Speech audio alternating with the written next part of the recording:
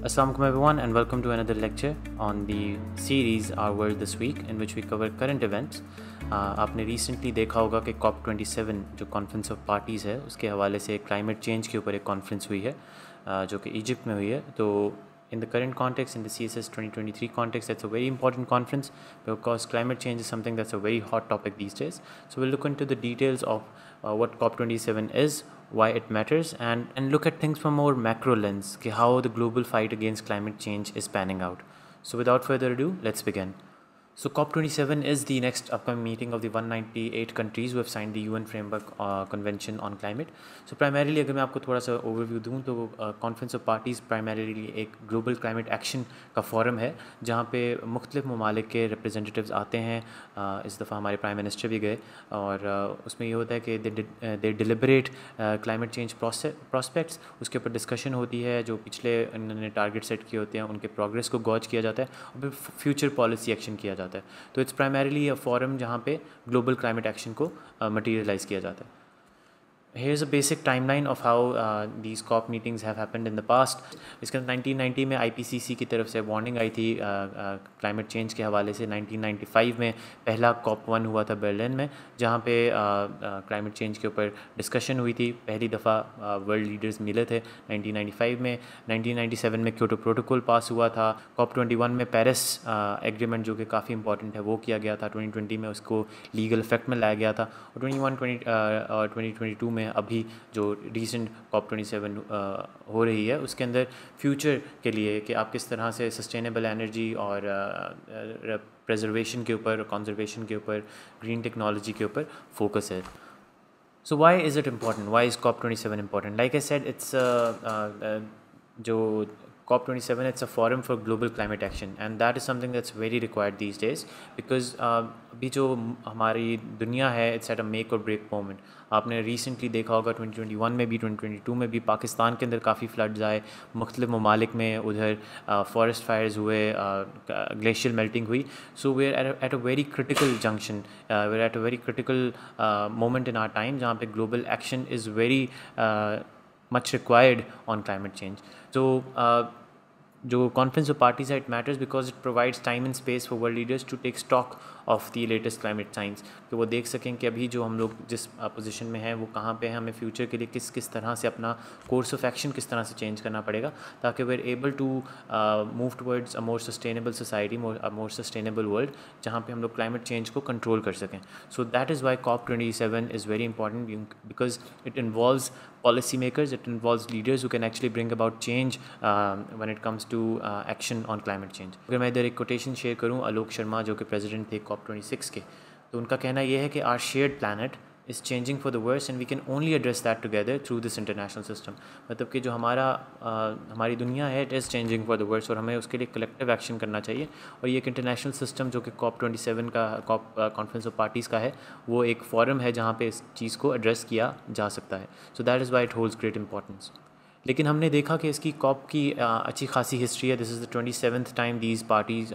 this conference of parties will be happening लेकिन अभी भी we're still not able to manage the climate crisis we're still not able to address the issues that are underlying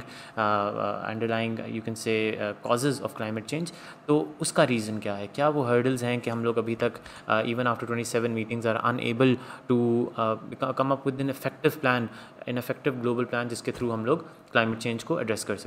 So we'll look at some of the hurdles that are uh, uh, in the way of global climate action. So COP twenty six के अंदर भी again there was a flurry of new pledges coal के हवाले से deforestation के हवाले से मीथन emission के हवाले से. But ultimately we been unable to you know hit the targets we been unable to to address the one point five degree Celsius वाली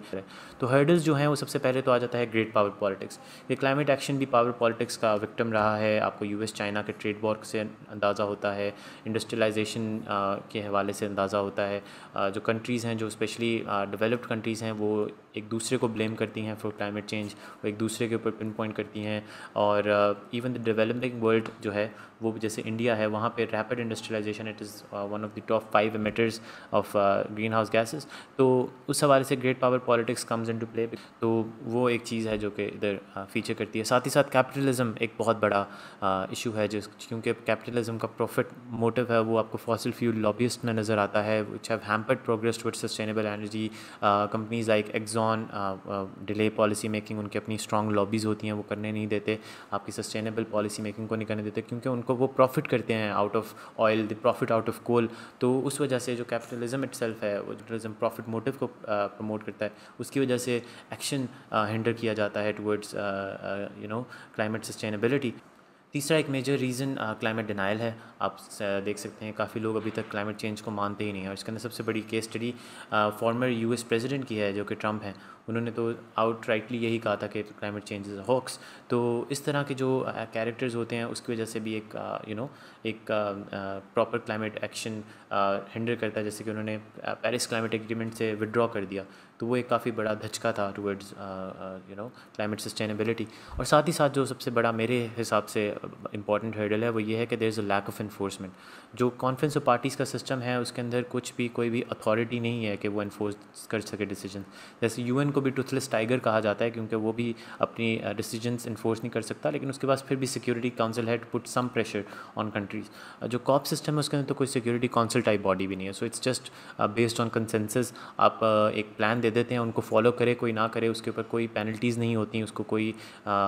इन्फोर्समेंट मैकेनिज्म नहीं है so that is a major hurdle in the way of global climate action so what needs to be done to overcome these hurdles.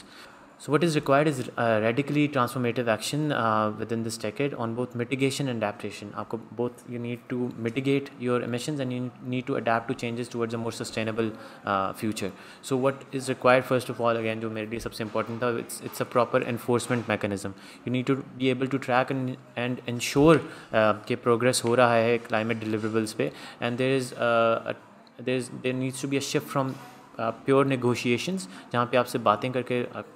Conference of parties ख़त्म हो जाती हैं and there needs to be a shift towards implementation जहाँ पे stringent action लिया जाए कि जो पॉलिसीज़ डिस्कस हों, जो पॉलिसीज़ फाइनलाइज हों, उनको इम्प्लीमेंट भी in true letter and spirit किया जाए। So that is very important secondly there needs to be a deliverance on promise of regular climate finance जो कि ग्रीन क्लाइमेट फंड जिसकी मैंने बात पिछले अपनी क्लाइमेट चेंज की वीडियो में भी की थी, उसके लिए जो ग्रीन क्लाइमेट फंड बनाया गया है फॉर डेवलपिंग कंट्रीज़ उसकी फाइनेंसिंग प्रॉपर होनी चाहिए ताकि जो डेवलपिंग कंट्रीज़ लाइक पाकिस्तान हुआ struggling with the effects of climate change वो उसको अपने जो क्लाइमेट इफेक्ट्स हैं, उनको मैनेज कर सकें। साथ ही साथ there is a need to address the technological divide जो टेक्नोलॉजी है, उसको ट्रांसफ़र किया जाए ताकि जो डेवलपिंग कंट्रीज़ हैं they can build up mechanisms जिसकी वजह से वो भी अपने एमिशंस को मिटिगेट कर सकें और वो भी अडेप्ट कर सकें towards climate you know sustainability और लास्टली जो कि सबसे इंपॉर्टेंट चीज़ है, वो है कि क्लीन एनर्जी के अंदर इन्वेस्टमेंट बहुत ज़रूरी है. We need to move away from coal we need to move away from ingredients that actually contribute to greenhouse gases concluding remarks में मैं यही कहूँगा कि it's a successful conference of parties which will include delivering on the support for developing countries to deal with damages cause by climate change is essential to keep international cooperation on climate life again जब तक आप developing countries को in the loop नहीं रहेंगे, उनको आप help out नहीं करेंगे, उनके लिए क्लाइमेट फाइनेंसिंग नहीं करेंगे, तब तक एक इंटरनेशनल कॉपरेशन ऑन क्लाइमेट नहीं रहेगी. क्योंकि अगर if countries feel left out तो ऑब्वियसली फिर कॉपरेशन उधर पॉसिबल नहीं है। इसके लिए मैं एक काफ़ी इंपॉर्टेंट कोटेशन कहूँगा जो कि हमारी मिनिस्ट्री ऑफ़ क्लाइमेट चेंज ने पुट फॉरवर्ड की थी in the COP twenty seven कि what what happens in Pakistan will not stay in Pakistan कि जो जो पाकिस्तान आज फेस कर रहा है, वो सिर्फ़ पाकिस्तान तक महदूद नहीं रहेगा। तो eventually this will spiral out and other countries who are perhaps more developed who consider themself to have a safer question against climate change तो वो क्वेश्चन उनके पास नहीं रहेगा so it's very important that countries specially developed countries realise that it's very important that they work on technology transfer they work to enhance climate financing ताकि हम लोग इस क्राइसिस को बेहतर तरीके से टैकल uh, कर सकें And that is the end of this lecture. Thank you for listening. For more information, you can uh, reach out to me on my Facebook and Instagram account. Uh, यहाँ पे भी मैं regularly C S S related P M S related content share करता रहता हूँ। And also to subscribe to this channel your views your comments your feedback matters a lot and it is very encouraging for me to make further videos as well so I will see you again in another lecture video तब तक के लिए अपना ख्याल रखिएगा। अल्लाह हाफ़िज़।